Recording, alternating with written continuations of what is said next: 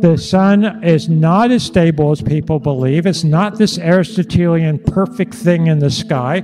And I believe that a massive solar event, a solar outburst, um, is what ended the last ice age, and as I'll come to, also began the Younger Dryas.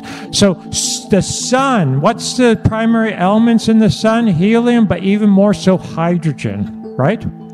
Hydrogen at high temperatures, etc. It can be dissociated. Uh, hydrogen's proton with electron around it. It can be dissociated just into a positive proton, just a negative electron. They can be ejected off, move at fast speeds. You've got the solar wind, etc. A general name for that is plasma. So when I'm talking plasma, that's what I'm talking about, not blood plasma. It's actually named after blood plasma because it sort of acts like it's um, plasma physicists will tell you, acts like it's alive.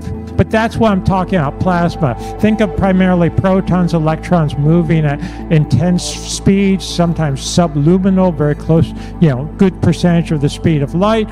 You can have major plasma outbursts from the sun. We call them things like coronal mass ejections or micronovas when it throws out material in all directions. You can have major solar flares. You can have uh, what are known as proton events or uh, SPE, solar proton or solar particle events. Um, and these things happen. We know they happen. There was a major one in 1859 known as the Carrington event. So you can think of pretty sort of plasma and um, the solar wind coming in, it hits the atmosphere and forms things like the auroras, the aurora borealis, aurora australis. Did anyone see that we had some severe solar activity recently? I say severe from a human perspective, nothing from an astrophysical perspective, you know, what the sun really could do.